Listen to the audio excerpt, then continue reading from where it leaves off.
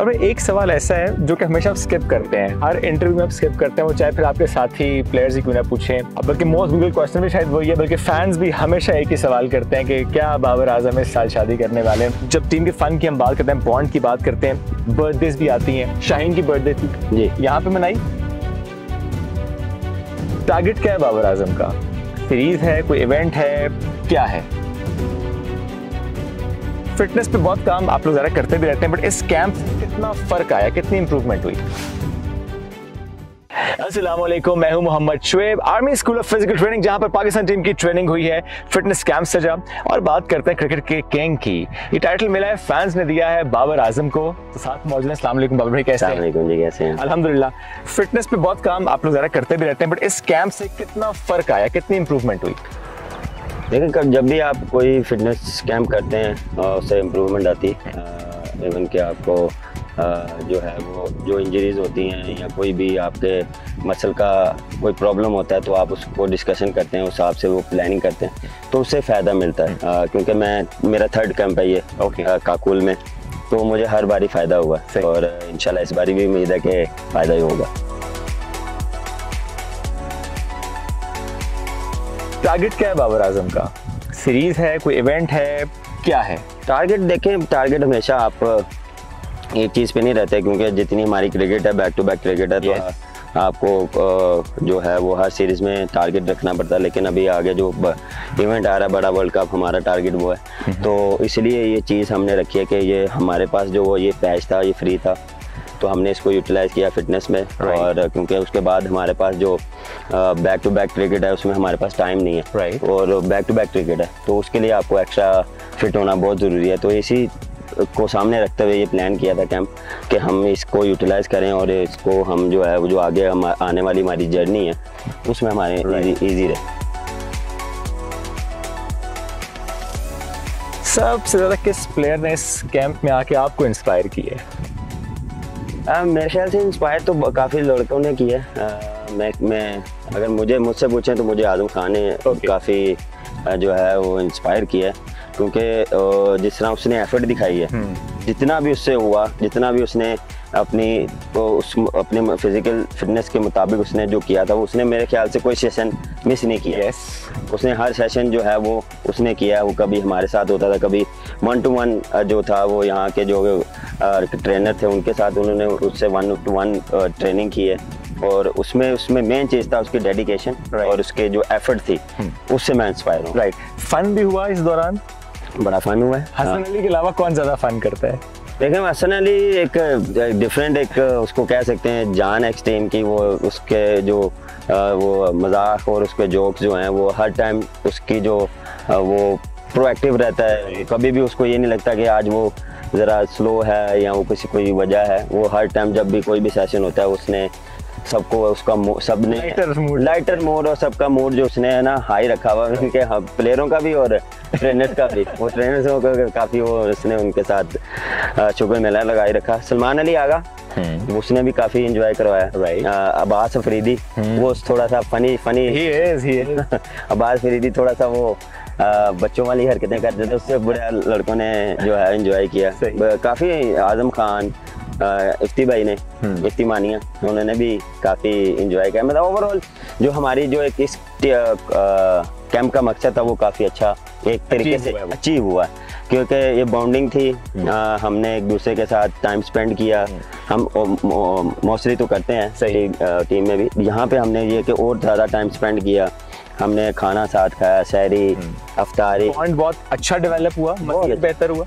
मज़ीद बेहतर हुआ क्योंकि और, और पहले भी हमारा काफ़ी अच्छा बॉन्ड है और और मज़ीद हमने जो है वो एक दूसरे को जाना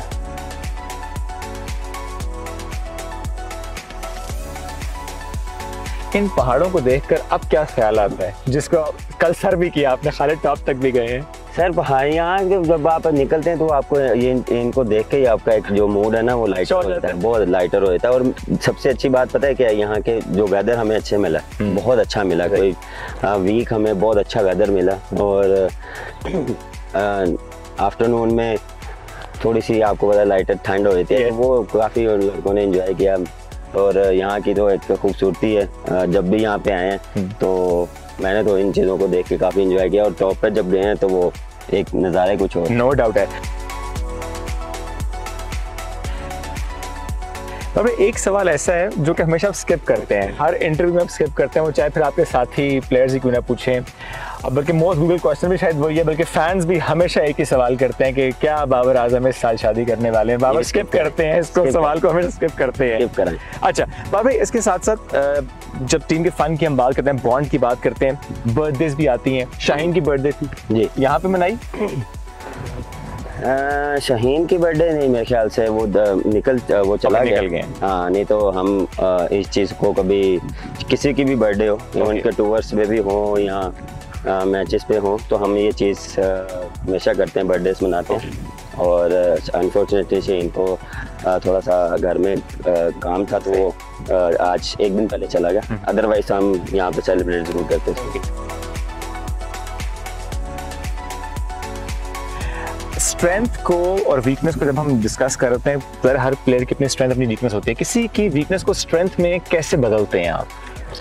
देखें वीकनेस हर ब, हर बंदे में होती है। वो हर बंदे को पता होता है कि मेरी वीकनेस कहाँ है। उस पर वो अपने आप पे जितना काम करेगा फ़िज़िकल फिटनेस पे हर चीज़ में। आप Okay. किसी भी स्पोर्ट्स में ले लें तो जब तक आप उसको रूटीन में उस पर काम नहीं करेंगे वो इम्प्रूव नहीं होगी। ये नहीं होगा कि यार एक दिन कर लिया चार दिन उस पर नहीं किया right, तो आप कहेंगे करनी पड़ेगी। आप महीने में वो मेरी ठीक हो जाए। नहीं होगी। आप महीना उस पर लगाएँगे आप उन पे फोर वीक लगाएँगे। जब तक नहीं लगाएँगे अदरवाइज़ वो चीज़ ठीक नहीं होगी। और इवन कंसिस्टेंसी कंसिस्टेंसी हर चीज़ में कंसिस्टेंसी चाहिए। आपको फिटनेस में भी आपको क्रिकेट में भी आपको लाइफ में भी कंसिस्टेंसी चाहिए।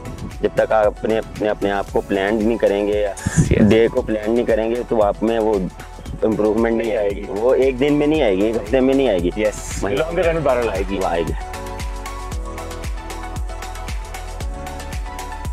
एज अ प्लेयर और एज अ कैप्टन डिफरेंस होता है टीम में। एज अ प्लेयर खेलना एज अ कैप्टन खेलना। Is there any difference responsibility है। हाँ, देखें जब आप एज अ कैप्टन खेलते हैं तो एक डिफरेंट रिस्पॉन्सिबिलिटी है। एज अ प्लेयर जब आप खेलते हैं एक डिफरेंट रिस्पॉन्सिबिलिटी आप एज अ प्लेयर खेलते हैं। लेकिन एज ए कैप्टन जब भी आप खेलते हैं तो आपने सबको लेके चलना होता है प्लेयर्स मैनेजमेंट हर एक का जो है वो उनको लाइटर मूड में भी रखना होता है।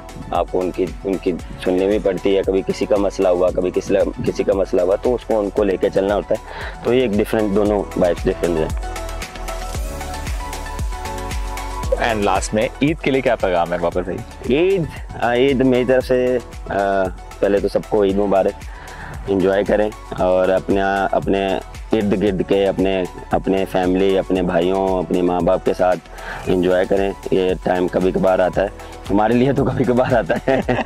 हम ऑलमोस्ट कभी आ, कभी बाहर हैं। कभी बाहर हैं तो ये मेरे ख्याल से चार साल पाँच साल के बाद मेरी दूसरी ईद है। ओके। कि इंशाल्लाह हम घर गुजारेंगे लेकिन वो भी तीसरे दिन हमारा रिपोर्टिंग टाइम है। तो ये टाइम कब आता कम ही आता है तो इंजॉय करें और खूब प्यार बांटें। खूब क्या बांटे। तो चूँकि आपने खुद कहा कि कई साल बाद ज़्यादा मौका आ रहा होता है तो इस दफ़ा का स्पेशल प्लान है फैमिली के साथ? देखिए फैमिली के साथ हमेशा स्पेशल प्लान्स होते हैं और जो है वो उनके साथ टाइम स्पेंड करते हैं। कम टाइम मिलता है लेकिन जितना भी होता है हम को मैं कोशिश करता हूँ कि उनके साथ टाइम अपना जो है जितना भी है स्पेंड करें और उसके बाद फिर हम। ट्रैवल हैं।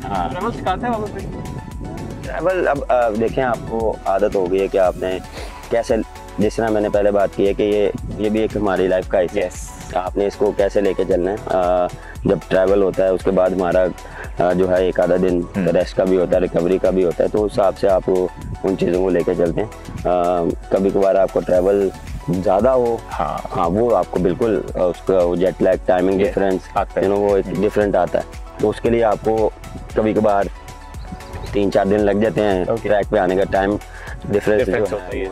जो वो आपको एडजस्ट करने में ना तो थोड़ा सा टाइम और कुछ लोगों का मसला होता है वो कहते हैं कि फ़ूड बड़ा हमें याद आता है ना कहीं जाकर पाकिस्तानी खाने के आपके साथ भी ऐसा नहीं नहीं अब अब गुड टू गो नहीं अब अब अब अब ये है कि हमें इजीली मिल जाता है. अब किसी भी कंट्री में आए वो वो है वो हलाल खाना कहीं ना कहीं से जो स्पोर्ट्स है। ना वहाँ काफ़ी जो है वो डिफरेंट कंट्री में वो अब जो है वो मिल जाते हैं। तो इतना मसला नहीं होता। हाँ वो जो देसी वाले हैं वो उनको तो थोड़ा होता है लेकिन जो अच्छे और डिसेंट खाने होते हैं वो मिल जाते हैं। वर्ल्ड कप आ रहा है पाकिस्तान? अच्छा दुआ करें। Babar thank you so much Thank- thank you very much thank you तो बाबर भाई कर रहे थे मुझसे गपशप और ज़ाहिर है ये बड़ा अहम कि इस फिटनेस कैंप के बाद इस ट्रेनिंग के बाद वो क्या सोच रहे हैं और जो इनकी रूटीन है उस बारे में बात की। Thank you very much